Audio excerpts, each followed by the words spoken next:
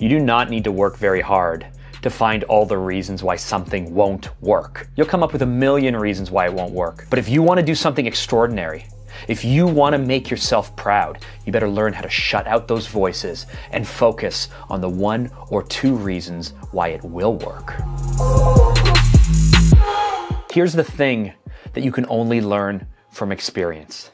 You have a perspective. You have a point of view.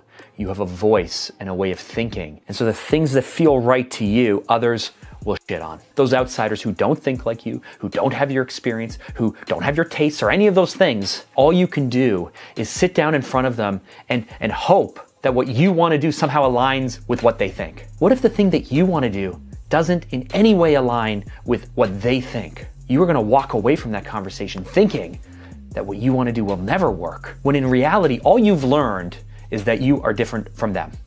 You will go about it differently than them. They don't see what you see. They don't know what you know. They're not doing what you're doing. That's the only thing you've learned. And so, no matter your age or your experience or what you are doing and dreaming and building, know this only you have the vision that you have.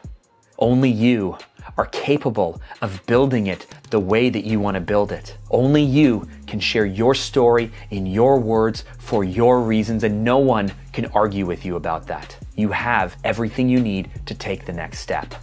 So here's what you do when you feel excited, when you feel bold, don't ask yourself the reasons why it won't work because you will come up with all the reasons why you shouldn't do it.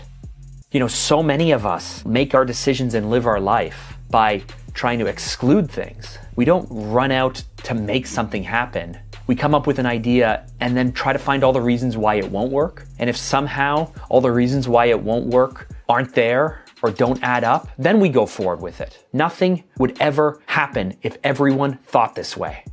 You will always come up with reasons why something won't work. You will rarely come up with a lot of reasons of why it will. But the, the brands and the companies and the entrepreneurs and the, the, the athletes and the rock stars who have done amazing things had a sliver of hope. They were holding on to a vision and they kept falling down and they kept hitting these roadblocks that anyone else would give up on. But they held on to that reason why eventually it will work for them when everyone was chattering in their ears and everyone was telling them it wouldn't work and everyone thought that they were idiots and stupid and a waste of time and money, they held on.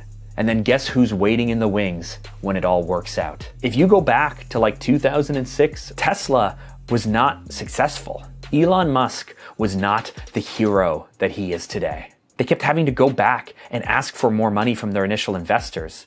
People thought that he was going to blow it. SpaceX wasn't where it was. He was in between this thing, right? He had a success and then he invested everything he had into these new ventures and they were not working. They were failing. He did one amazing thing. He must have gotten lucky, right? And yet now, 14, 15 years later, whatever it is, we can go like, wow, he's amazing now. He's great. Because here's what he has. He has vision, and he has a thing he's pursuing, regardless of whether Mark Drager thinks that he's amazing or not.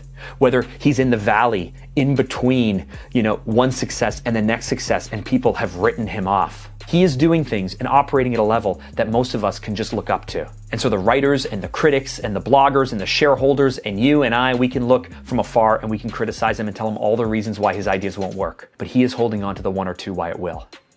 What is your one or two reason? What is it that you know will work deep down within you if you can just line up step after step, if you can just make these things happen? You know, you know it's gonna work. And then what can you do to protect yourself from all the doubters and all the haters and all the people who are to try and drag you down. Because if you want to hit your goals, if you want to have big, scary goals that make you so uncomfortable that you are even embarrassed to talk about them with other people because you think they're going to look at you like you're crazy. You want to make those things happen, you better learn to shut out the noise. They kept falling down and they kept fighting and they kept facing they kept falling down. Listen, life is super messy, and if you want to learn why you shouldn't compare yourself to others, because it'll only hold you back, check out this video right here. I think you'd like it a lot, and I will see you there.